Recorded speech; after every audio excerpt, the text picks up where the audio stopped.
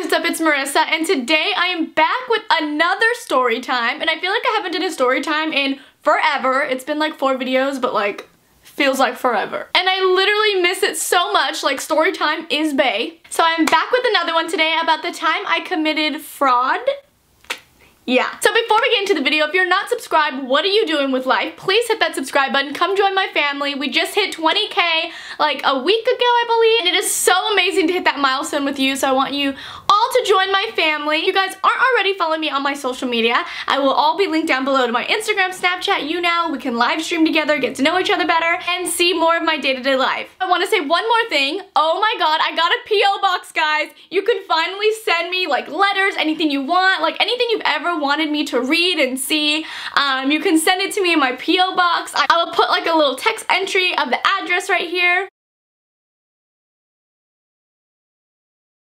But yeah, I'm so, so excited. I can't wait to read all of the stuff you guys send me. I'm gonna be doing videos of me opening all the stuff I get in my P.O. box with you so you can see my reaction live.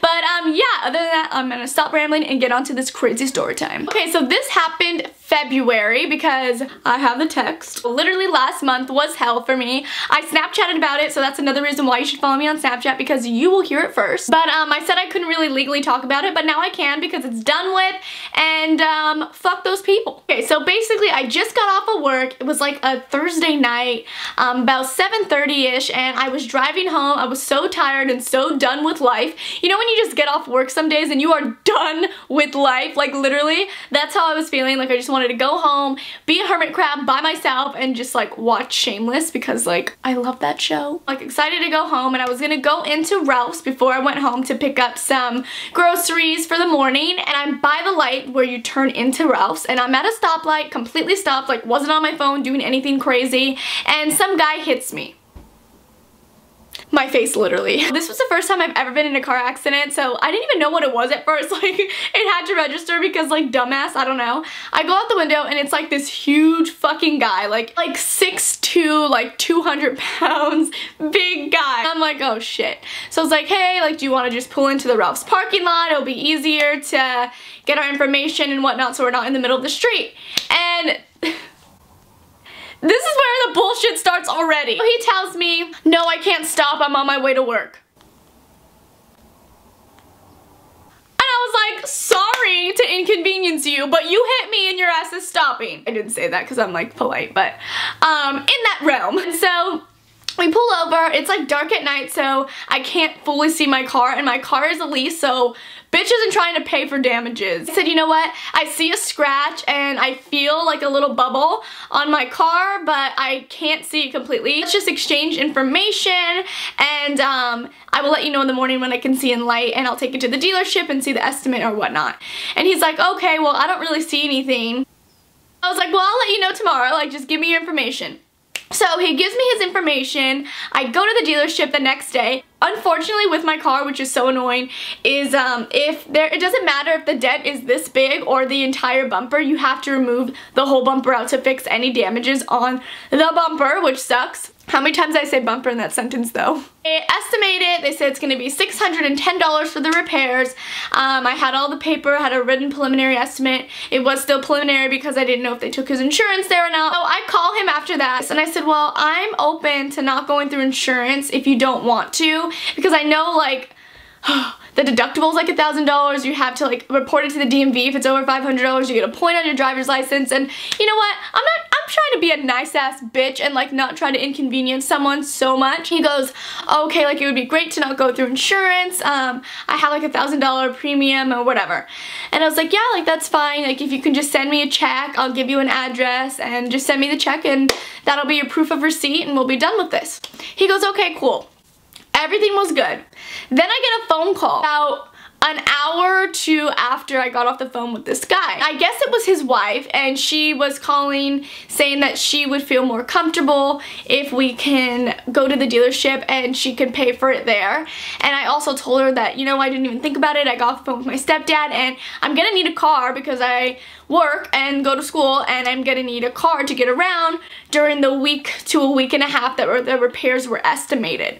And she goes, oh yeah, like I didn't think about that either. Like we can inquire about a rental car for you when we're there tomorrow. I said yeah, like that's fine because I never got in a car accident before and I didn't really know the proper measures and whatever to go about it. Talked to my stepdad about it later that night and he told me that basically like not to do it, that she's just gonna jerk me around and say that they didn't do this, they didn't do that, and it's just gonna be a lot more complicated. So I texted her and I told her, um, hey, like, you know what, I, I got off the phone with my stepdad and he told me that it's just gonna be easier if you just send me a check. If you don't wanna go through insurance, that's the way we're gonna have to go about this.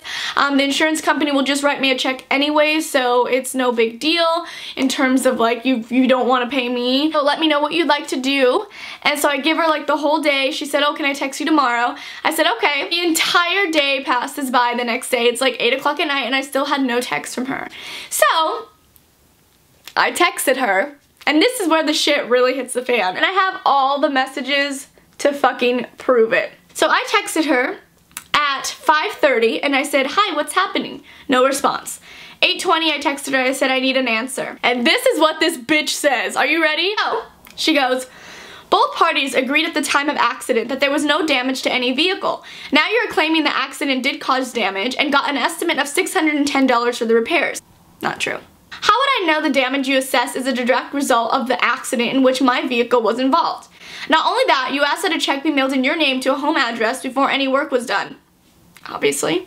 When you were told the payment would be only made directly to the body shop or you when you provided a proof of receipt, you added additional cost of car rental that would be a week to a week and a half during repairs.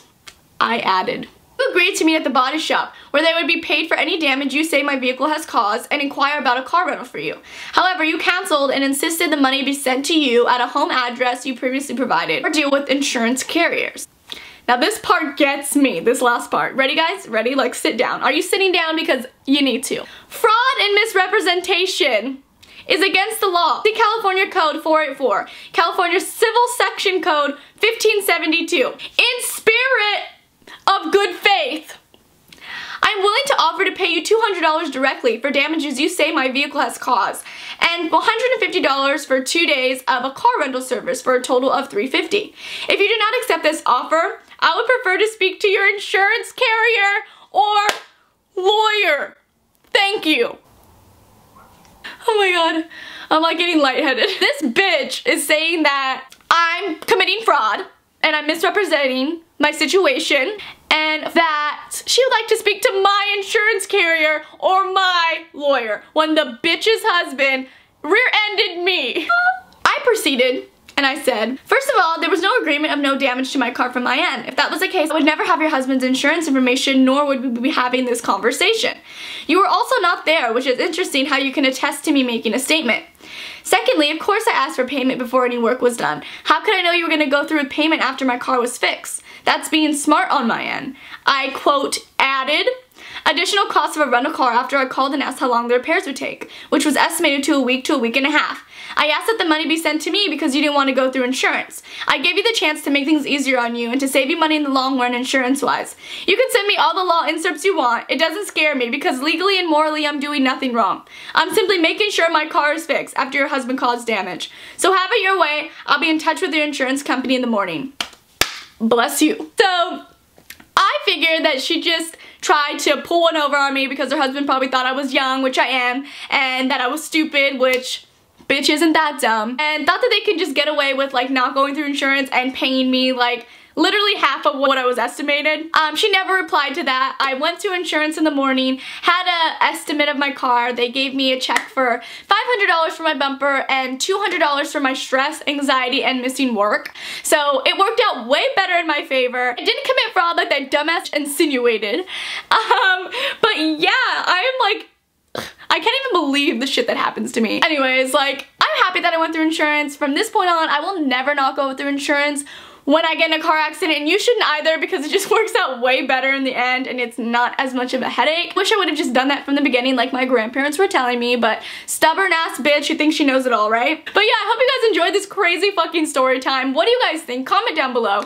and please, please, please don't forget to subscribe and comment what you guys want to see down below and other than that, I will see you in my next one. Bye guys!